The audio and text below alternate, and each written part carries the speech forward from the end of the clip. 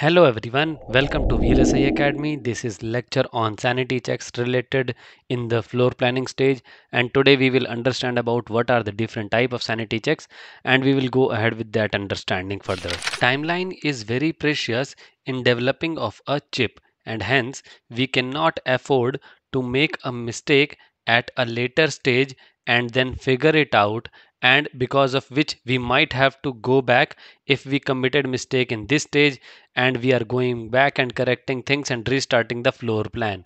Hence we have sanity checks in place which helps in ensuring that at least some set of mistakes can be avoided.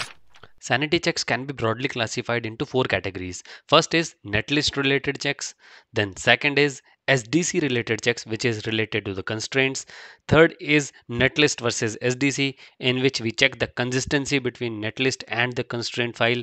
And then fourth is linking related checks. Let us first understand about netlist related checks. So the first check is output should not be tied to ground. To understand that, let us take this CMOS for example. So if your Q pin is output which is tied to the ground, that means it will always be 0. And if you give any input, it will always be going to 0 and it will directly create a path from VDD to ground.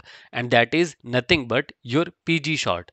Why? Because whatever input you give, it will always be 0 and your VDD current will always go from VDD to Q that is 0. It will be a PG short. Now the second netlist related check is inputs should not be floating.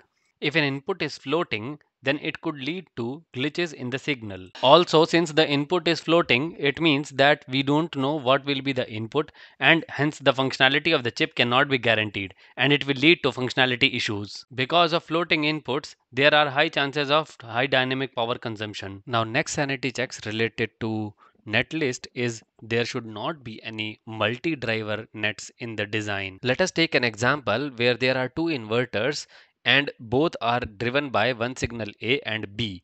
And now both of the output of the inverter is connected to the common buffer input. And if we give A as 0 and B as 1 then inverters will give output as 1 and 0 respectively. And because of wired AND at the buffer input the output or the buffer input will be ambiguous. And hence we don't know what it will be. And because of this there should not be any multi driven inputs let us take one more example to understand the case of multi-driven nets again. So let us take that you have one a NAND gate and there is one more NAND gate which is giving a common B input.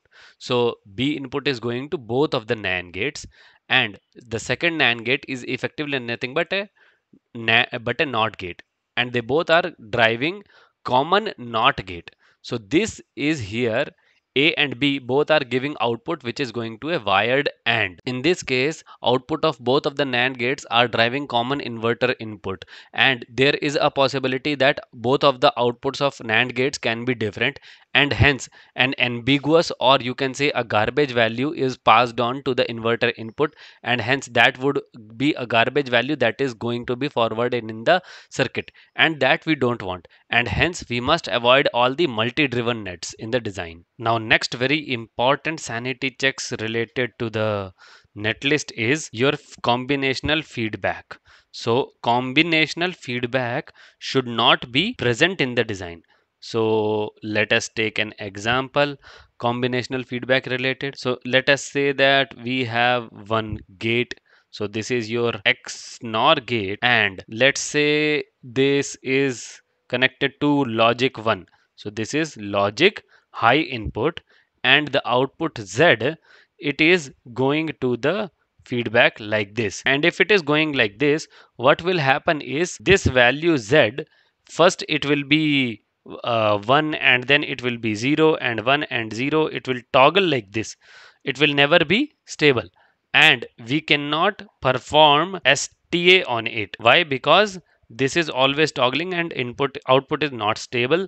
And we don't know at what time the what timing arc will be coming up. So we we should always avoid as uh, we should always avoid the combinational feedback. It should not be there in the design that's all for this video. If you have any questions you can ask through the comment section. Please do like share and subscribe to the channel. Thank you